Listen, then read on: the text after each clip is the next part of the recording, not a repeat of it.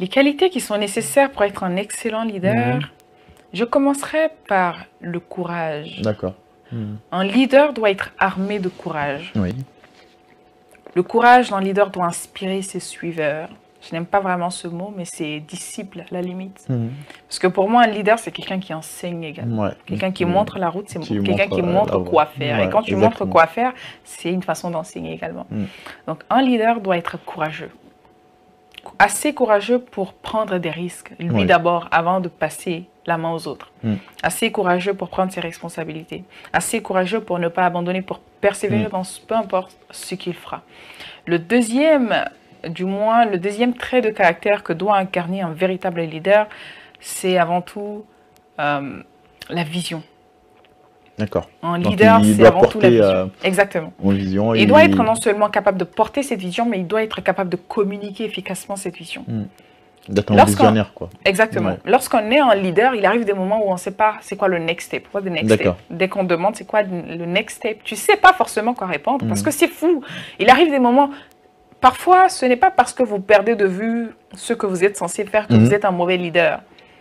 Il peut y arriver des moments où vous aviez quelque chose en tête, vous savez, vous avez ce pressentiment de où vous voulez aller, mais la vision est encore floue et brouillée par des péripéties de la vie, par des choses. Je vous donne un exemple. Tu peux souhaiter, par exemple, devenir un président dans un pays. tu entames des campagnes présidentielles, il arrive que l'argent finisse et que c'est très compliqué pour euh, aller de l'avant et que tu n'as pas forcément les personnes qui sont censées te soutenir de là, c'est très compliqué. Mm. Là, tu vois ton avenir un peu bancal. Tu demandes, c'est à- à ce moment précis que tu commences à, à te poser des questions, à revoir ta vision, à te demander, mais est-ce que c'est même possible? Parce que, parce que tu doutes de toi et c'est humain, d'accord? Mm. Mais le problème avec ça, c'est qu'il arrive des moments d'avoir ce doute, mais surtout d'avoir des moments d'incertitude en tant que leader. Mm. Et même lorsque nous avons des moments d'incertitude, il faut toujours avoir les mots pour convaincre les gens afin de les retenir. Mm. Le temps que vous trouviez, vous vous retrouviez dans votre lutte, dans votre destinée. Oui. Donc pour moi, c'est euh, c'est vraiment un trait de caractère plus que primordial pour un leader, Mhm. de savoir trouver les mots, de savoir se réinventer. Le troisième trait de caractère qui Oui. est plus que primordial pour moi chez un leader, c'est l'adaptabilité, la flexibilité, Mm. Surtout, être capable de oui. se- de s'adapter à n'importe quelle situation Mm. De s'affronter, d'affronter les, les orages, d'affronter la Mm. vie à la dure. Parfois, ça sera compliqué. Parfois, ça ne sera pas facile. Qu'est-ce qu'il arrivera lorsque ton plan A ne marche pas? On Mm. trace un plan B, on trace une autre stratégie, on Mm. trace d'autres tactiques afin d'attaquer la bataille. Et pour moi, c'est ça un véritable leader. Ça ne fonctionne pas. Ok, je cherche une autre solution. Mm. Comment ça pourrait marcher autrement? Donc, c'est très important d'avoir le courage, d'avoir une vision bien ancrée, et même lorsque nous avons une vision brouillée, de savoir toujours convaincre pour Mm. faire en sorte que ceux qui nous suivent nous, continuent de nous suivre quand même. Mm. Même quand on n'a pas de l'espoir, il faut savoir de donner de l'espoir quand Mhm. on manque d'espoir soi-même. Ça, c'est le, le- le rôle d'un leader. Et la troisième chose, c'est simplement d'être flexible à n'importe quelle situation. Mhm. Un leader, c'est quelqu'un qui est capable de se coucher partout. Tu l'envoies à Jakarta, même sans maison, il Ouais. est capable de se coucher là. Ça, c'est un leader. Et, comment, et dans ce cas, comment vous faites peut-être pour gérer euh, les personnes? Parce qu'un leader, forcément, il a des personnes à gérer. euh, et des fois, c'est pas évident de, de s'adapter à n'importe quelle personne. Euh, chaque personne a sa personnalité et tout. Absolument. Pour ça, comment vous faites? Absolument. Alors, c'est une très belle question parce que je dis très Mhm. souvent que un leader a trois types de personnes qu'il va devoir diriger. Ok.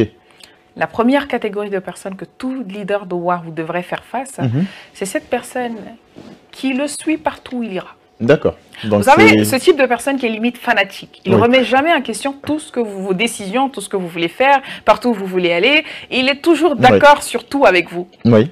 Il suffit simplement de le satisfaire. Lui, il sera partout où il ira. Même s'il faut aller dans la tombe, il vous suivra.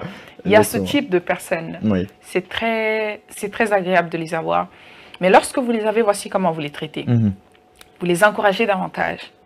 Vous mettez de l'eau en fait dans leur euh, pot de fleurs afin qu'ils continuent en fait de Mhm. fleurir davantage. C'est le rôle d'un leader. Si tu vois une personne qui est de cette première catégorie, tu l'encourages constamment. Tu le, le félicites pour son Mhm. travail. Et la deuxième catégorie de personnes que tout leader doit diriger, c'est cette catégorie de personnes qui est ni pour ni contre. Mhm. D'après les Ivoiriens, un pied dedans, un pied dehors. C'est-à-dire que ils vont Mhm. pas toujours remettre en cause tout ce que vous allez faire. Ouais. Mais il arrive des moments qu'ils ne soient pas d'accord avec vous. Et de ce fait, vous les poussez à vous faire confiance. Vous les donnez ce qu'on appelle de l'assurance. Mm. Vous les montrez que vous valez la peine d'être écouté. Pourquoi? Parce que vous êtes le dirigeant.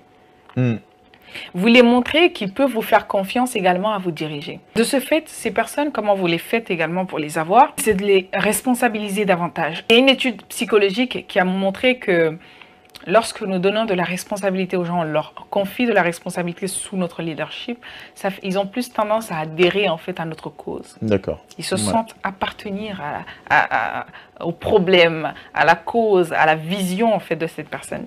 Du coup, il faut les responsabiliser, da- il faut les responsabiliser davantage. Mhm.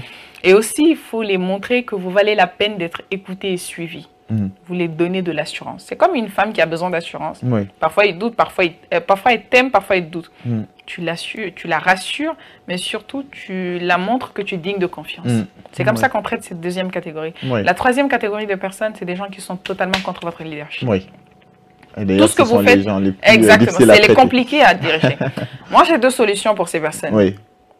Soit je les dirige de loin. Oui. Pourquoi? Parce que quand vous dirigez ce genre de personnes de près, c'est des personnes qui risquent d'influencer négativement le cerveau autres. des autres. Oui. Et du coup, ça va vous pénaliser, ça va vous amputer. Mm. C'est comme des, euh, des c'est comme une